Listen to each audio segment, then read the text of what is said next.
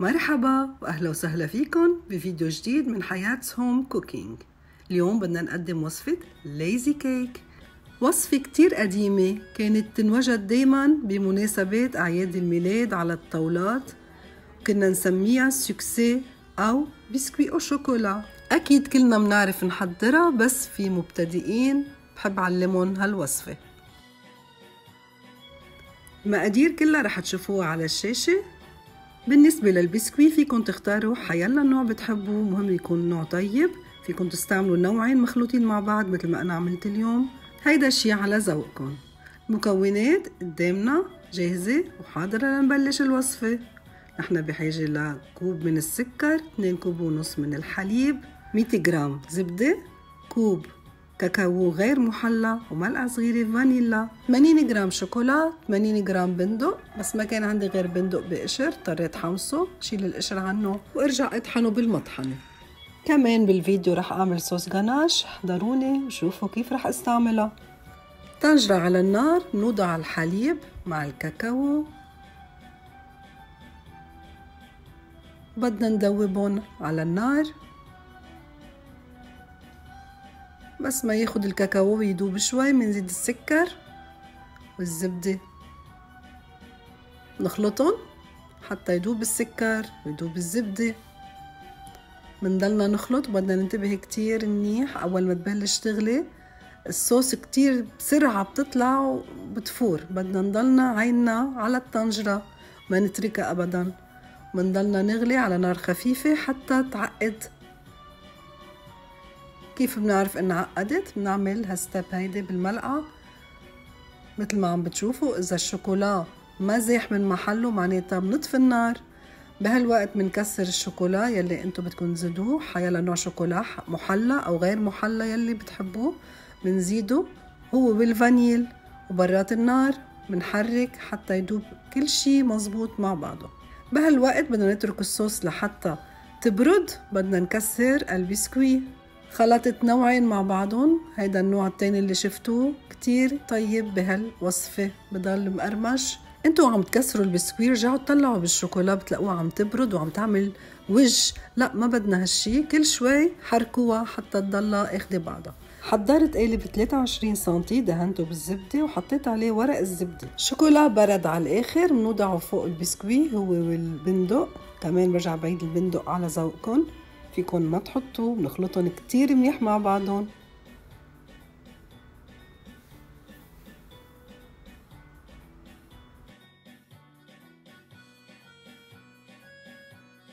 رح أستعمل ثلاث أرباع الكمية بالقالب والربع رح أعمله rolls مثل ما معروف فيه ال lazy cake.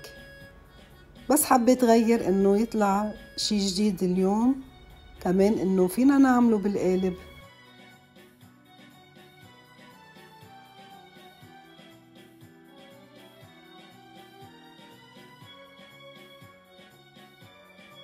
من بعد ما حطينا الكمية اللي نحن بدنا إياها بنكبس كتير منيح ومنملسه قد ما فيكن شدوا بتشدوا لحتى يضغط كل الشوكولا والبسكوي يضغطوا على بعضهم ما يصير في فراغات. منملس الوجه وهيدي نتيجة القالب. هلأ بدنا نشتغل بالباقيين نعملهم roll نوضع الكمية على ورق الزبدة. ورق الزبدة كتير مهم بهالأشغال كتير مهم بالحلو ما بلزق أبدا وبنشتغل مثل ما عم بتشوفوا منشد منرصهم على بعضهم مثل ما انتو بدكن الحجم يكون.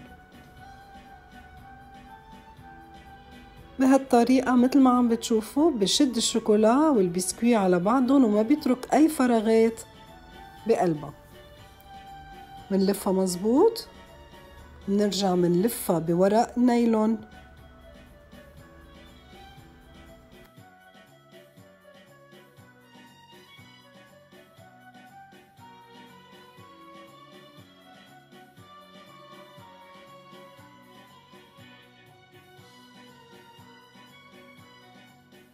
ليزي كيك لازم تنحط بالفريزر وبتضاين قد ما بدكن بس ما يجي حدا ضيوف بتحبوا تضيفوا بتلاقوها موجودة بتضيفوا بتقصوا قد ما بدكم منها وبترجعوها على الفريزر. هيدا القالب عم نشيله.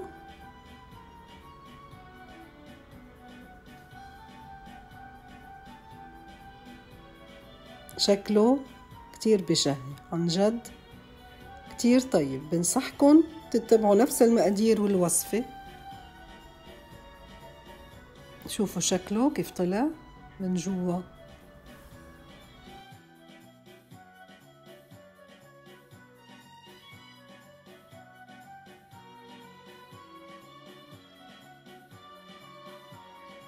رح أعمل كمية قليلة من صوص الجناش نصف كوب حبوب الشوكولا نصف حلو مع ربع كوب كريمة الحلويات. بنوضع الكريمة على النار كلها بنزلها بنطرها لتسخن أول ما تبلش تغلي بشيلها عن النار بحطها فوق حبوب الشوكولا وبصير بخفق بخفق بخفق لحتى تدوب أول شي بتحسوها مش ناجحة كأنها مبرغلة. ما تقولوا مش ناجحة لا. ضلكن اخفقوا بتلاقوها بلشت تلمع وصارت أحلى صوص جناش عندكم.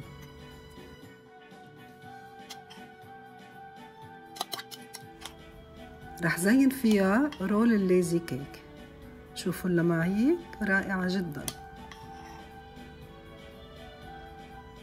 القالب خليته بلا الصوص لفرجيكم الفرق بين اثنين شلت الرول من الفريزر وبدي أسكب عليه صوص الجناش. لاحظتوا ورق الزبدة؟ كتير سهل التعامل معه. نزل الصوص على مهل وبدهنه. بغطي كل الرول بالصوص. برجع بحطها بالفريزر شوي تجمد عن جديد بعدين برجع بستعملها. هالمرحلة هي بس للشكل حتى تغطي لنا كل شي أبيض هو البسكوي بتغطيه وبيعطي شكل أرطب. عم ملسها شوي تطلع مرتبة وبحطها بالفريزر.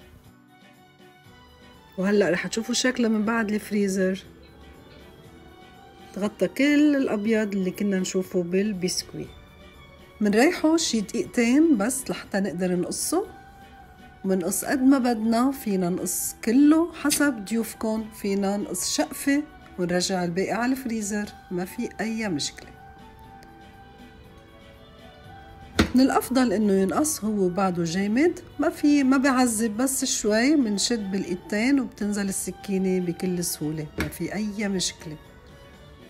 شفتوا هاللمعية اللي عطاها صوص الجناش للرول؟ عطاها شكل مرتب وشكل حلو.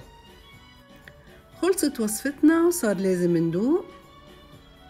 إذا حبيتوا الوصفة بتمنى منكم like share و subscribe وما تنسوا تفعلوا زر الجرس حتى يوصلكم كل جديد من حياة home cooking هيدي أجمل لحظة. وبشوفكن مثل العادة بفيديو جديد.